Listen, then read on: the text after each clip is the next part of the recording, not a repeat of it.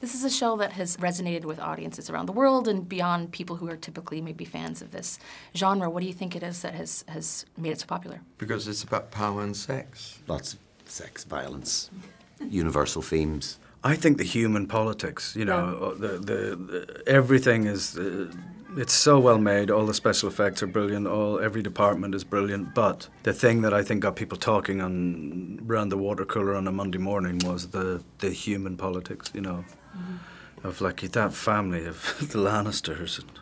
Mm. That sister, you know, that Lena played so brilliantly, and although I think that's what hooked people, and killing your hero off in the mm. first season was broke every rule. No, it's it's the writing. It's always yeah. it's always always always the words. If if you're it doesn't.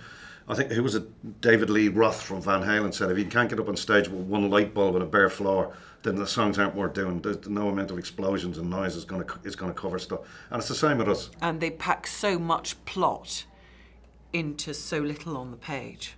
It's um, I think that is a that's a real skill. Part of it is that it has this element of a sports event that that that the the, the, the story can go unexpected directions. In the same way that Shakespeare does, it's like a mirror into the human condition, and also into our past where things were were when life was actually more raw and wild and exciting. And I think a part of us longs for that. I think a very attractive kind of time, that medieval freedom that people had, even though it was tough. I feel like it's because you get like five shows for the price of one with with Thrones. Like, I, have heard a lot of people kind of say they they're like they're like, oh yeah, I come for the battles, and then they stay for there's like a family drama or there's many family dramas.